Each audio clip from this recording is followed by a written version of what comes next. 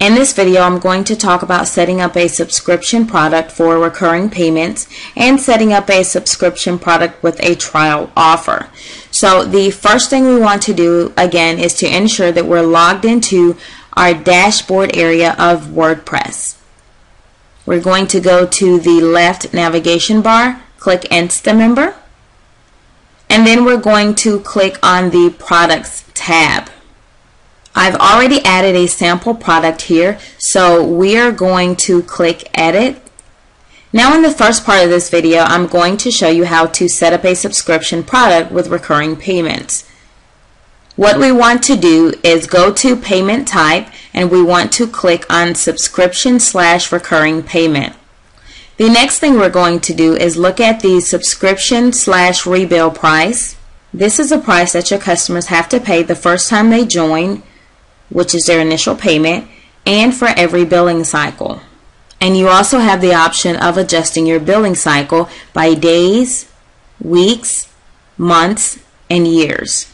Bill times. If you set the rebill time to zero, then your customers will be billed forever or until they cancel the subscription. So if you only want to rebill your client six times, then set this bill time to six the initial payment is not counted in those six times. For example, if you set it to six, then your customers will be billed once at the first time they join and then six times after that. Click Save Product and it updates your data for setting up a subscription-based product with recurring payments. In this last half, I want to show you how to set up a subscription product with a trial offer.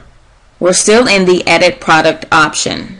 Now what we want to do under payment type is we want to enable trial period.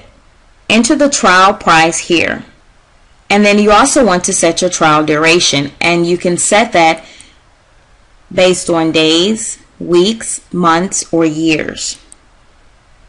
Now you want to enter the normal price that you're going to be charging your customers after the trial period has ended in the subscription slash recurring payment settings.